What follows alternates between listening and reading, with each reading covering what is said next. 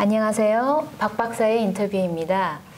어, 고등학교 대학생 중에 어, 의대 진학이나 의학 분야 쪽에 관심이 많은 학생들이 많을 텐데요. 오늘은 에모리 의대 조희철 교수님을 만나서 어, 하시는 연구에 대해서 들어보고요. 어, 의학이나 의대 분야 진로 선택에 대해서 들어보는 시간을 가지도록 하겠습니다.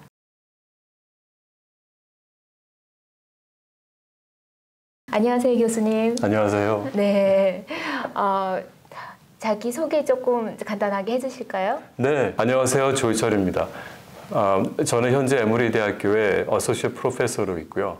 타이틀로서는 유로스키스 알 스칼라라는 타이틀이 있고 또 Children's Healthcare of Atlanta의 heart regeneration 프로그램의 디렉터로 있습니다. 네, 아틀란타 어린이 병원의 심장 재생 프로그램 디렉터라는 말씀이시죠? 심장 재생이면 어떤 건가요?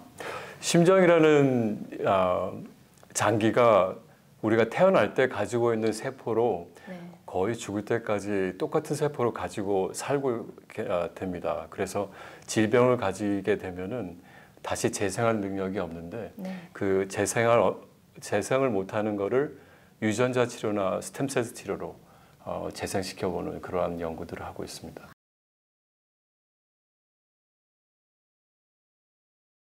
저희가 주 아, 종목을 하는 연구는 부정맥 쪽입니다. 그래서 심장이 이 불규칙하게 뛸 때 부정맥이라고 네. 하는데요. 그 중에서도 아, 너무 느리게 뛰거나 아니면 너무 빠르게 뛰거나 두 가지가 있는데 네.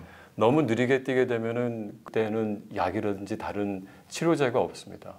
심장이 어른들 같은 경우면은 60번에서 70번 뛰어야 되는데 그렇게 안 뛰고 한 40회 밑에 밑에 뛰게 되면은 이 페이스메이커라는 기계를 달게 되는데 어, 어른들한테는 그 기구가 작동을 잘 합니다. 그런데 어, 기계이다 보니까는 또 그 기계가 어, 이 배터리가 있어야지 계속 작동을 할수 네. 있거든요. 그래서 그 어린이 같은 경우에는 특히 소아 같은 경우에는 네. 그렇게 심장 박동수가 너무 안 되는 음. 경우에는 기계를 달게 되다면 처음에 태어날 때부터 아, 필요한 어린이들은 네. 심장이 흉부를 가르고 네. 그 다음에 거기에 전기줄을 넣어가지고 페이스메이커는 여기 바깥에다 붙여놓고서 그렇게 아, 네. 심장 박동수를 유지시켜 주거든요. 어, 여러 가지 애로 사항이 많이 있어요. 아기들은 이 커가는데 이 기계나 전기줄은 늘어나지가 않기 때문에 네.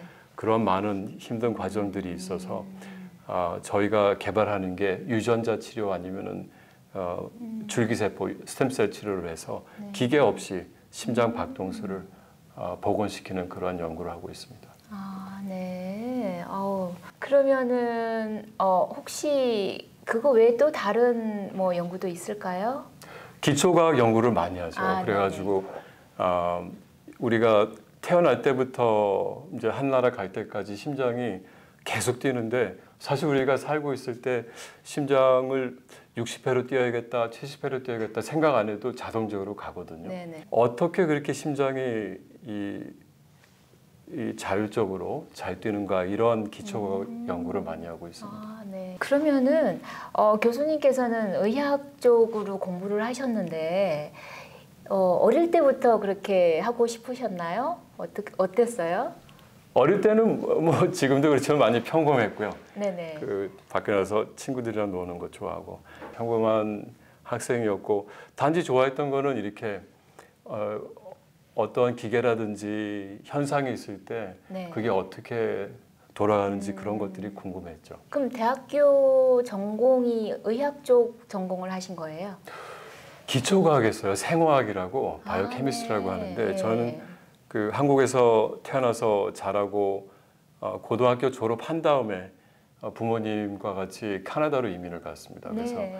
토론토에서 그 학부랑 대학원을 하고요. 네네. 그 다음에 첫 직장을 볼티모 메릴랜드에서 직장을 아, 잡고 네. 그때 연구원 생활을 시작을 했어요. 예. 예. 그래서 그 카나다에서 맨 처음에 학부 할 때는 생화학을 했는데 네. 매우 재밌었습니다. 근데 연구원을 어, 생활할 때 이제 볼티모 첫 직장이었었는데 그 연구실이 심장 연구 전문하는 네. 분의 연구실이었어요. 그래서 그때 처음 이렇게 응용과학과 음. 이, 이 환자한테 접목이 되는 연구를 배우기 시작했습니다. 저 같은 경우에는 병원에 속해 있고 에머리 대학의 소아과에 속해 있지만 의사는 아니고요. 연, 의, 교수예요. 그래서 네. 이 박사로서 아, 학생들을 가르치고 연구도 하는데 네. 하는 연구가 기초과학에서 응용과학으로 많이 가고 네네. 그러다 보니까 우리 연구하는 것이 어, 환자한테 접목될 수 있는 가능성이 크다는 거를 어, 깨달은 다음부터는 네. 이제 의사분들하고 같이 연- 공동 연구를 많이 하고 있습니다. 그러면은 의대 이제 의대나 의대 의학 쪽으로 공부하고 싶은 학생들이 많은데요. 그러면 고등학교 때부터 어떤 코र्스 같은 거를 들으면 좋을까요? 그리고 대학을 선택할 때도 어떤 전공을 선택해서 가면 좋을까요? 여기서는 거기에 대한 범위가 되게 넓은 것 같아요. 네. 여기라고 말한다면 이 미국과 북미 네네. 에서는 제가 생화학을 전공을 했는데 학부할 때는 네네. 그리고 대학원 할 때는 피지올로지를 했는데 저희 동기들 친구들이 많은 친구들이 아, 저같이 PhD를 해가지고 연구 쪽으로 가는 아, 친구도 있었고 또 학부한 다음에 생화한 다음에 의대로 간 친구들도 있었습니다. 네. 그래서 그 처음에 대학에서 공부하고 하는 거는 아, 의대 이- 입학하는 것에 굉장히 중요한 것 같지는 않아요. 그 네. 제가 네. 만약에 아, 어드바이스를 줄수 네, 네, 있다면 좀 네. 광범위하게 그 공부를 하는 게 어떨까 하는 생각이 있습니다. 네. 그러면 광범위하게라면은 엔지니어링에 간 친구들도 의대에 아, 입학하는 그런가요? 경우가 있고요. 아트 쪽으로 뮤직 쪽으로 공부했던 친구들도 메이저 아니고 마이너를 갖다가 그 과학 쪽에 네. 코스를 몇 개 택하고 나서 네. 그 다음에 의대로 진학하는 경우도 있고요. 아, 네. 어떤 경우는 저희 동기 중에 학부하고 나서 박사학위 하고 나가지고 연구하는 직종 보니까는 페이가 너무 적어가지고 의대 가, 다시 간 친구들도 아, 있어요. 네. 그래서 여러 가지 이 라우트가 있기 때문에 네. 어, 의대에 가는 것이 하나의 공식으로 어, 갈 필요는 없다고 생각합니다.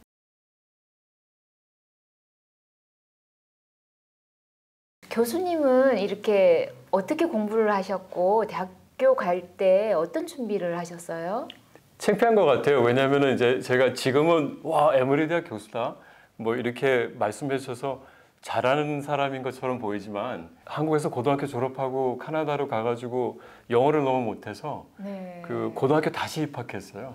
그때 온타리오주가 고등학교 13학년 제도가 있었습니다. 아, 네. 그래서 13학년을 다시 하려고 들어갔는데 이 생물을 낙제를 해가지고 네. 12학년 다시 가서 어, 의대 12학년 교수님이 그래가지고 저희 가족 중에 고등학교 졸업장에 둘 있는 유일한 사람이에요. 아, 네. 한국에서 하나 있고 또 캐나다에서 하나 있고 그리고 나서 학부를 들어갔는데 네.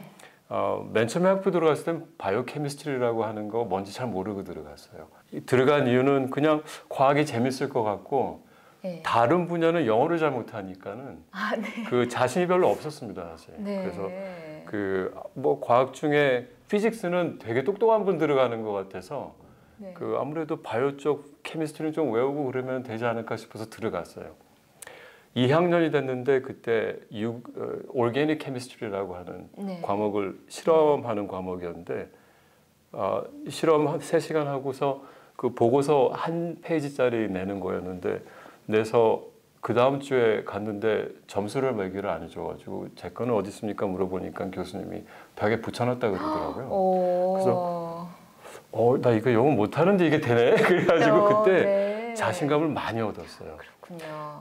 그러다 보니까는 실험이 좋아지게 되고 네. 어, 여러 가지 생각을 하다가 학부 졸업할 때쯤 돼서는 대학원 가가지고 공부해도 좋겠다 하는 생각이 들었습니다. 네. 그래서 이, 이 피지올로지가 생리학이라고 네. 하는데요. 그 네. 생리학을 전공하게 됐고 네. 그때까지만 해도 기초과학을 아, 쭉 할 거라고 생각했는데 박사학위 할 때 지도 교수님의 인연으로 해가지고 볼티모어 있는 학교에서 음. 연구원 생활을 할 수 있게 됐습니다. 그 연구실이 아, 존스 홉킨스에 있는 이 심장 과장님의 네. 아, 연구실이었어요. 네. 그래서 그때 당시에 거의 최첨단의 어, 줄기세포랑 그다음에 유전자 네. 다루는 법 예, 예. 그런 것들을 많이 배웠어요. 그래서 네. 너무나 그 이 제가 이렇게 이 지금 하는 것을 할 수 있을 네. 어, 은인들이 너무 많았던 것 같습니다. 네. 한 가지 중요한 것도 빼먹었는데요. 학부 졸업하고 대학원 가고 싶었는데 점수가 안 돼가지고 1년 재수했어요. 아, 네. 그래서 학부 졸업한 다음에 대학원을 토론토 대학원이라 대학교라는 곳에서 했는데 네. 그 이 인터뷰한 교수님이 제가 성적이 좀 안 될 것 같다고 그래가지고 그 그러면은 학과 그 과목 몇 개 더 택해가지고 네. GPA 올려서 예. 그한 번 더 도전해가지고 대학원 갔습니다. 와, 이제 길이 많네요. 저 같은 예. 사람이 할 수 있으면 여러분 이 똑똑한 분들이 많이 할 수 있을 아, 거예요. 예, 희망이 생기는 것 같습니다. 네. 연구를 한다는 게 그 쉽지가 않은 게 네. 돈이 이렇게 가는 곳이 네. 제일 많이 가는 곳이 아무래도 비즈니스일 것 같고 그 다음에 이 미국은 의료 시스템상 어, clinician 분들께서 네. 어, 페이가 제일 많으시고 그 다음에 연구하는 저희 같은 이 박사들이 아, 일을 하고 dedication에 비해서 그 compensation이 그렇게 많지는 않은데 네. 그래도 어, 뭐 평균적으로 살수 있고 그 다음에 일의 보람이 많은 것 같아요. 왜냐하면은 네. 저희가 이렇게 일을 하는 것에 어, 따라서 어, 좋은 치료 방법이나 치료제가 개발이 될 수 있으니까 아, 꿈이 많은 우리 젊은 친구들이 이 방면에서 어, 그렇게 막 multi-millionaire, billionaire 되는 게 네. 꿈이 아니고 네. 워- 이 자기가 하는 것에 꿈이 있다면은 어, 많이 권장하고 싶은 그런 직종입니다. 저희가 연구를 할때 어, 이 저희는 뭐 생물하고 그다음에 동물 실험 많이 하거든요. 네. 네. 이 심장 질환 중에 환자로 제일 먼저 갈 수 있는 거가 페이스메이커를 하는 거라서 저희가 캐치프레이즈로 말하는 게 biological pacemaker예요. 그래서 네. 어, 기계 하나도 안 들어가고 유전자로 아니면 아까 말씀드린 대로 stem cell로 줄기세포로 가는데 음. 이제 지난 한 10년, 15년 동안 연구를 하면서 보니까 어, 저희가 혼자 갈 수 없는 길이에요. 그, 어, 무슨 말씀이냐면 이 저희가 연구를 할때 네. 어, 엔지니어들 분들하고도 그 연구를 아, 많이 네. 하고 있습니다. 왜냐하면은 음. 어떠한 방법으로 우리가 음. 이 효과를 측정을 할 수 있을까 했을 때 요새도 많이 하는 wearable device 해가지고 아, 네. 어, 시계 차면은 여기에 얼마나 움직였는지 음. 박동수가 얼마나 있는 심장 박동수가 네. 얼마나 있는지 이러한 것들을 잴 수가 있는데 그런 거를 개발하는 어, 교수님들도 있으세요. 우리 네. 너무나 좋은 거는 이 조자택이 바로 옆에 있으니까 네. 거기에는 엔지니어 분들하고 그러한 연구를 같이 아, 하고요. 네. 훌륭하신 분들이 많이 분야와 공학 분야 교수님들이 만나서 같은 이제 한 연구를 하시는 거군요. 맞습니다. 네. AI, 아, 네. Artificial AI. Intelligence 예, 예. 그 분야하고도 같이 하는 게 네. 아, 심장이 부정맥이 생기고 저희가 동물 실험 하다 보면 한 달짜리 심전도를 갖다가 하나 빛 하나마다 다 이 계산을 하고 네. 분석을 해야 되는데 네. 네. 그래가지고 AI 하는 분하고도 또이 전문으로 하시는 교수님과 그 방에 있는 네. 연구원들하고 같이 연구를 해서 어, 앞으로 계속 더 나아가야 하는 방향은 어, 엔지니어들 분들 또 어, 인실리코 해가지고 프로그래밍 하시는 분들 네. 저희처럼 생물하고 어, 피지올로지 하는 사람들이 같이 연구를 해서 음. 이러한 이 기가 막힌 네네. 치료제들이 나올 수 있다고 봅니다. 네. 그렇게 됐을 때 이제 이 클리니션들이 그거를 가져가야 되고 네네. 환자분들께 많이 중요한 것들이 연구하는 사람들뿐만이 아니라. 이, 이 연구비도 매, 매우 중요해요. 펀딩이 많이 있어야 되는데 미국 같은 나라는 거의 음. 지구상에 이런 나라는 없는 것 같아요. 그 기초 과학과 응용 과학에 이렇게 펀딩을 호하게 주고 네. 어, 앞으로 5년 안에 음. 그 성과가 없는 네. 연구도 계속 아, 어, 네. 지원해주고 하는 이러한 음. 어, 좋은 정책이 있습니다. 그래서 네. 그 펀딩이 중요하고 나지, 마지막에는 어, 우리가 다 개발을 했는데 네. 이 상품 가치성을 측정을 해서 음흠. 어느 회사가 이거를 상품화시켜서 환자들한테 딜리버하는 네. 그러한 그 엔터티도 필요해요. 그래서 네. 이게 상품화가 되지 않으면은 그렇죠. 예. 나중에는 이 사용이 되는 거니까 그래서 그 많은 분야들이 같이 공동으로 네. 어, 들어가서 개발을 하는 게 신약 개발 또 치료제 개발이라고 생각합니다. 네. 그렇게 되기 때문에 네네. 어, 의대에 들어가서 의사가 되는 젊은이들도 있겠고 또 연구를 하는 네.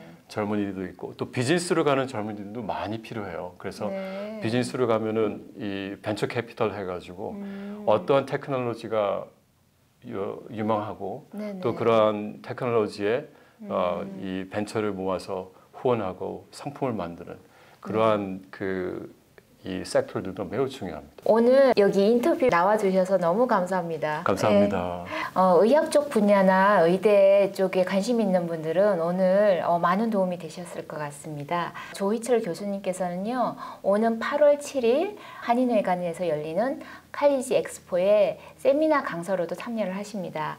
어, 더 자세한 질문, 구체적인 질문 있으시면은 오셔서 직접 질문하시면 좋을 것 같습니다. 네, 지금까지 박 박사의 인터뷰였습니다. 감사합니다.